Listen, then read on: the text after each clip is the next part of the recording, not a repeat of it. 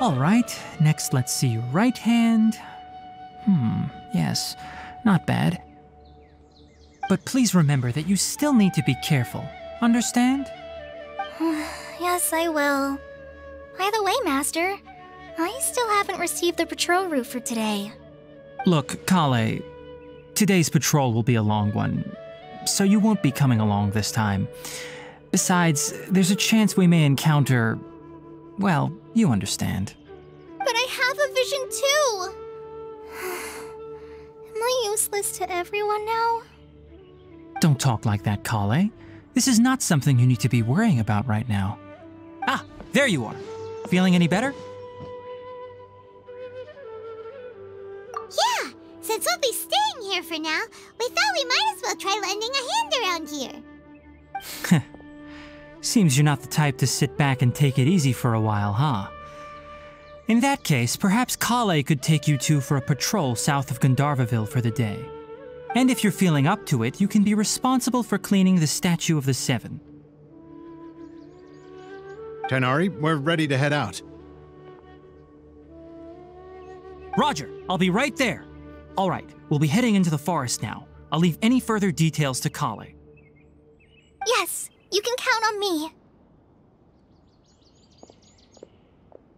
So, Collei, what exactly are we going to be doing today? Tighnari mentioned cleaning the statue just now, but, uh, that doesn't really sound like the job for a ranger. Well, a forest ranger's responsibilities can be pretty diverse. They handle a variety of tasks, like checking the condition of outlying roads, maintaining forest facilities, ensuring fire prevention standards are met, and providing assistance to travelers and locals. As for Master, well, he has to handle more dangerous areas of the rainforest. Today we can perform routine checks on the pathway lamps as we make our way to the Statue of the Seven. Paimon, Traveler, this way! You can leave the task of checking the lamps to me. In the meantime, you two can keep an eye out for anything unusual. Useless! Nothing wrong with these two lamps. Let's move to the...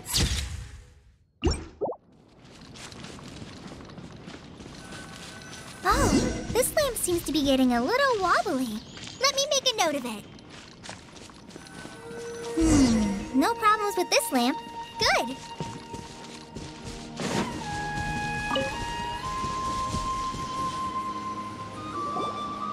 Statue of the Seven is up on top of that large rock formation. You must have seen it when you came down this road before. It's pretty high up there, isn't it? Don't worry. If you're afraid you can't make it up there, I'm sure Master wouldn't mind if you don't clean the statue. Oh? I guess I'll leave it up to you then. There's not much footing once you reach the statue, so be careful up there. Paimon will fly up with you and help you with those hard-to-reach areas. Um, by the way, Collei, do you know anything about the Dendro Archon? You know, what's she like? Uh, that depends. Are you referring to Greater Lord Rukkhadevata or Lesser Lord Kusanali? Huh? Greater Lord Rukkhadevata? Oh, is that the name of the former Dendro Archon? Uh-huh. Greater Lord Rukkhadevata was Sumeru's first Dendro Archon. She created the rainforest as well as the wall of Samiel around the desert. Her works provided a means of peaceful living for everyone. To the people of Sumeru, she's not only a symbol of wisdom, but also of power and kindness. Unfortunately, she disappeared in a great calamity that occurred a few hundred years ago. According to what Masters told me, the sages later found the newly born Dendro Archon and whisked her back to Sumeru. To celebrate the reinstatement of their lost deity, the sages dubbed her Lesser Lord Kusanali and let her reside in the sanctuary of Surasthana. Uh-huh. Then what happened? Well, and then... Uh... Uh... I'm not too sure what happened, to be honest. Huh? You're not too sure? But aren't you from Sumeru? Yeah, I'm from Sumeru. Uh, but... It's difficult to discuss this topic with strangers. If that's the case, then don't worry, we understand. No, no, it's not that. I'm not trying to hide something from you. Besides, I don't consider you two strangers. A anyway, you two know Amber, right? Wait, Amber? You mean... Yes, that's her. I once lived in Mondstadt for a while, and she helped me a lot during that time. You could even say that she helped me become a new person. There's no one like Amber. She lives life to the fullest while always adhering to her strong sense of justice. She's ready to answer the call for action at any moment, but is also very understanding of others. She's like the spark that lights the fire in everyone's heart around her. If you ask me, she's a prime example of a true outrider. She's the first person anyone coming to Mondstadt will meet. You can't help but be enthralled by her charm and enthusiasm, causing you to fall in love with the lands of Mondstadt and... Uh... sorry. Uh... Paimon thought the work of Outriders was a little different from what you just described, but one thing's for sure. You really like Amber. Uh... sorry. I was rambling on just now. It must have sounded kind of weird. it's alright, Collei. Knowing that you're a friend of Amber somehow makes Paimon suddenly feel a lot closer to you. So, how do you know that we've met Amber? Well, after I returned to Sumeru, Amber and I have stayed in touch by writing each other letters. In one letter, she mentioned that Mondstadt was attacked by a fearsome dragon, but the city was saved by a mysterious blonde traveler and their floating companion. I knew you two were the ones she mentioned in the letter the moment I saw you. But, uh, considering everything you've been through that day, I thought it'd be inappropriate to bring it up.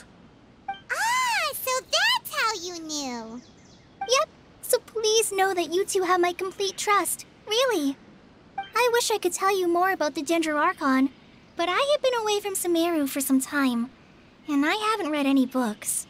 Sorry. That's alright. You've already helped us a lot. We had never even heard of Greater Lord Rukkhadevata or the Sanctuary of Surasthana until you mentioned them. Oh, I'm happy that was helpful. There is one thing I want to ask, though. Why do you two want to know about the Dendro Archon? Hmm. So that's why you're here. Thank you for telling me your story. Don't mention it. We are friends after all, right? all right, we have a statue to clean. You both have my thanks. Well, you...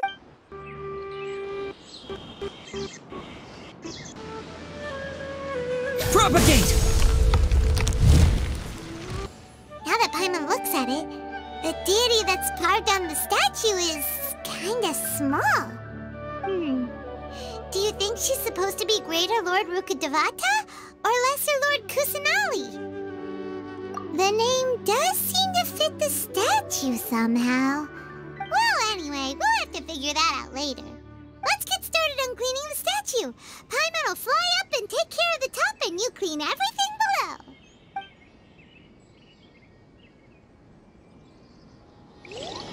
Nice work! That's one clean statue. Let's head down and meet up with Collei.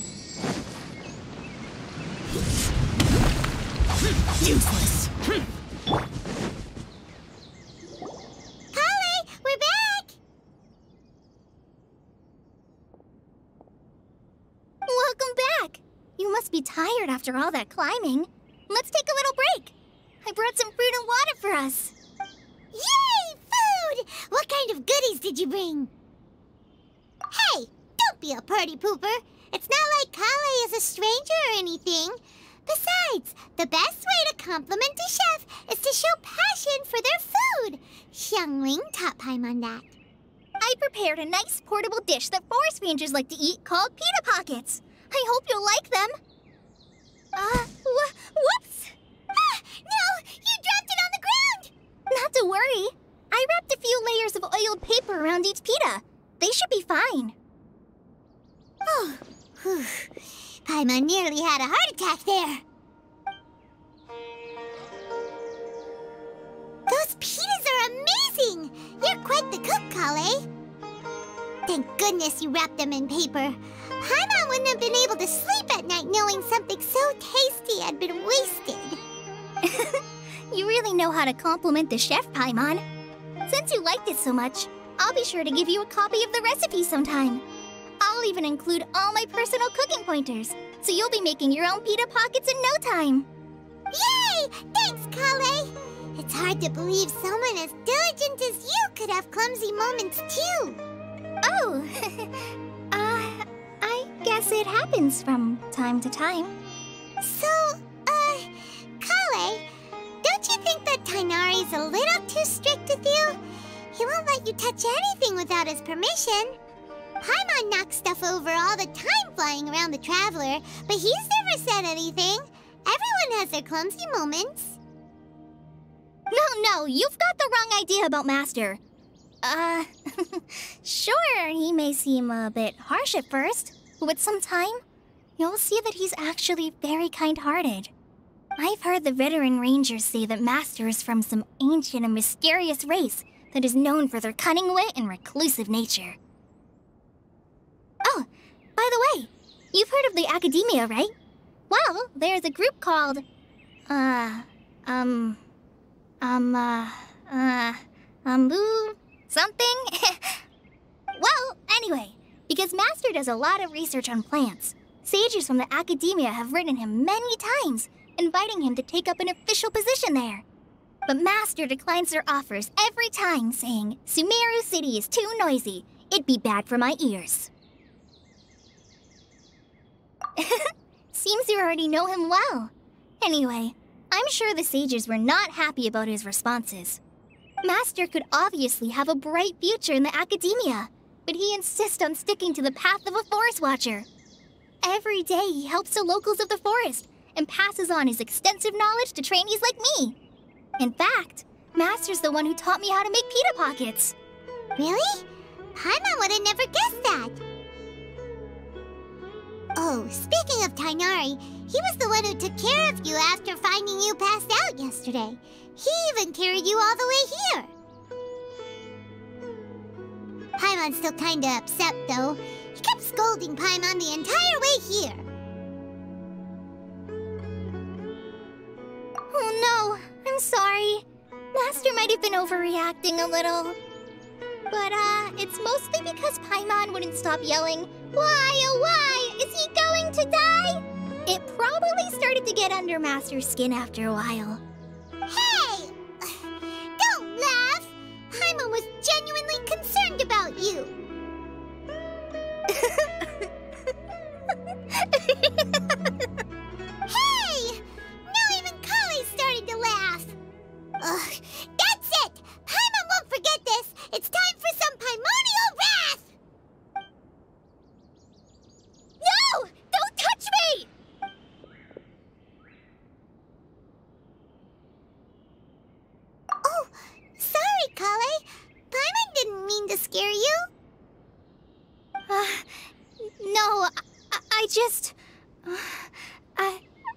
Didn't mean that. Collei, are you okay? What's the matter? No, uh, I'm... I'm fine. I'm sorry. I must have startled you both reacting like that. Oh, well, it's getting late now. Uh, let's hurry back to Gandharvaville. I think Master and the others should be back by now, too. Huh? What was up with Collei just now? And why is she in such a hurry all of a sudden?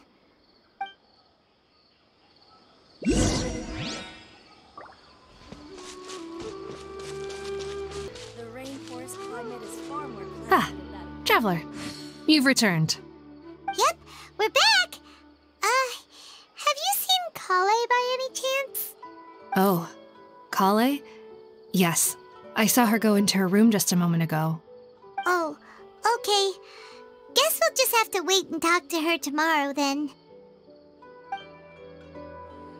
I think I'll stay here a while. Thinking all night about what happened with Collei, and still can't figure out what the problem might be. dead on my feet. Maybe she's in a better mood now. Let's go check on her.